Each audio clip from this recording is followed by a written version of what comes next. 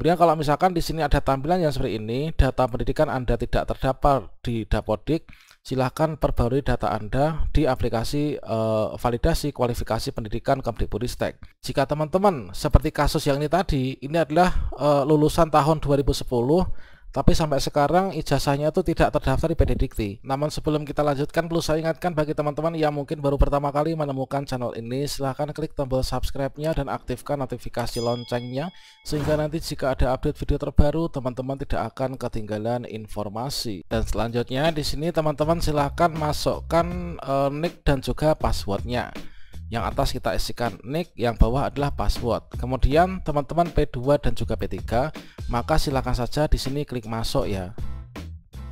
Berikutnya teman-teman pelamar prioritas 2 dan 3 nanti tentunya akan sama. Ketika kita login maka bagi yang sudah punya akun kita langsung akan dimasukkan pada bagian jenis seleksi ya. Kita masuk ke tab jenis seleksi Nah, berikutnya di sini akan sudah blur seperti ini. Kita masuk ke dalam prioritas ketiga. Uh, ini adalah didasarkan dari data dapodiknya ya. Kemudian sekolahnya mana, instansinya mana. Kemudian kalau misalkan di sini ada tampilan yang seperti ini, data pendidikan Anda tidak terdapat di Dapodik, silahkan perbarui data Anda di aplikasi uh, validasi kualifikasi pendidikan Kemdikbudristek pada aplikasi Dapodik. Proses ini nanti memerlukan waktu ya, yaitu dari 10 menit hingga paling lambat 3 kali 24 jam. Bagi teman-teman yang di sini mendapatkan tampilan aplikasi Verbal Dapodiknya di sini ada seperti ini, berarti di sini ada permasalahan ya. Permasalahannya yaitu di info GTK. Nah, berikutnya kalau misalkan teman-teman mendapatkan permasalahan seperti ini, kalian silahkan klik saja di sini ya, yaitu aplikasi Verbal Dapodik. Maka berikutnya di sini teman-teman akan mendapatkan tampilan seperti ini yaitu teman-teman ini harus melakukan verbal ijazah ulang ya teman-teman. Kita harus melakukan verbal ijazah ulang Nah ini sama halnya ketika teman-teman di sini melihat pada info GTK ini belum melakukan verbal ijazah atau verbal ijazahnya itu belum terverbal dengan sempurna. Nah di sini sama halnya kalian bisa masuk di sini atau teman-teman silahkan buka di info GTK. Nah di sini teman-teman silahkan buka info GTK ya.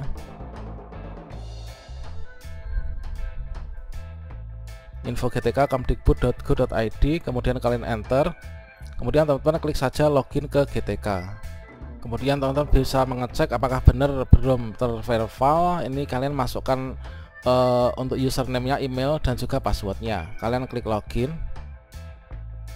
Nah ternyata benar kan teman-teman? Di sini teman-teman belum melakukan verbal ijazah.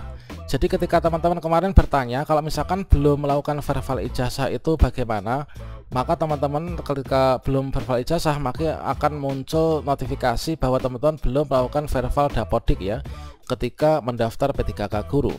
Nah, setelah sampai sini kalian bisa klik di sini ya. Klik di sini klik verbal ijazah atau kalian masuk ke yang tadi aplikasi Dapodik.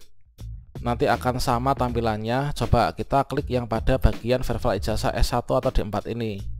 Nah inilah teman-teman. Inilah untuk hasilnya ya. Ini hasil ketika teman-teman tadi klik yang uh, bagian info GTK sama halnya ketika teman-teman di sini masuk pada bagian verbal dapodik ya. Nah setelah ini teman-teman memasukkan memilih data-datanya untuk melakukan verbal ijazah. Nah di sini kalian bisa buka ijazahnya ya. Nah di sini teman-teman silahkan buka ijazahnya kemudian diisikan data-data ijazahnya Nah di sini untuk yang mendapatkan ijazah lebih dari tahun 2002 ini wajib ya untuk terdaftar di PD Dikti. Kalau misalkan belum terdaftar di PD Dikti, maka teman-teman silahkan hubungi admin kampusnya supaya didaftarkan di PD Dikti dan terbaca pada Dapodik serta di SSC ASN. Sekarang teman-teman masukkan. Kita masukkan perguruan tingginya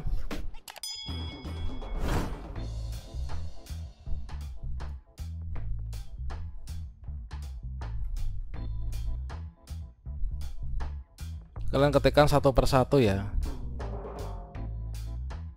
Nah ini Universitas Nahdlatul Ulama Surakarta. Kemudian teman-teman masukkan untuk program studinya. Ini kita lihat di ijazah.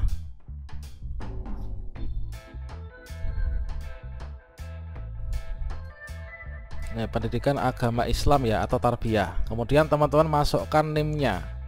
Setelah teman-teman memasukkan universitasnya mana kemudian untuk prodinya apa kemudian NIM-nya ini berapa teman-teman silahkan klik cek ya Selanjutnya kalau misalkan teman-teman sudah sampai sini yaitu di bagian uh, ini adalah untuk data ini tidak ditemukan di PDDikti ya. Ini diminta untuk melakukan silakan unggah manual dokumen melalui tautan di bawah ini. Jadi teman-teman di sini melalui unggah dokumen di sini. Nanti menjadi metode verbalnya itu metode verbal upload. Nah, di sini untuk teman-teman mengambil langkah untuk menggunakan metode verbal upload ini tentunya harus dipikir-pikir ulang.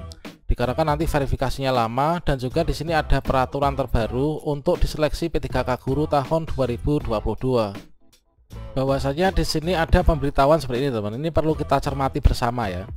Untuk menjaga validitas data ijazah sesuai dengan data yang terdaftar pada database Pedidikti maka pastikan data program studi Anda sudah terverifikasi sesuai dengan ijazah pada link di bawah ini. Nah ini adalah yang perlu kita ketahui bahwa verbal ijazah ini wajib dilakukan untuk guru yang bersangkutan ya bukan operator. Nah ini teman-teman yang paling penting. Untuk lulusan tahun setelah 2002 pastikan data ijazah Anda ini terdaftar pada PDDikti jika data Anda tidak terdaftar pada PDDikti segera koordinasi dengan perguruan tinggi di mana ijazah tersebut ini diterbitkan. Jadi pada intinya bagi teman-teman yang lulusan ijazahnya itu di atas tahun 2002 ini wajib terdaftar di Benedikti ya. Jika teman-teman seperti kasus yang ini tadi ini adalah e, lulusan tahun 2010 tapi sampai sekarang ijazahnya itu tidak terdaftar di Benedikti maka saya nggak berani untuk menggunakan metode verbal upload ya Nah ini solusinya bagaimana? Solusinya tentunya teman-teman sesuai dengan arahan yang ada di info GTK jika data Anda ini di uh, kita lulusnya setelah 2002 namun nggak terdaftar di Pedidikti uh, maka di sini uh, ketika kita dapat tampilan ini metode verbal upload maka kita itu segera koordinasi dengan perguruan tinggi.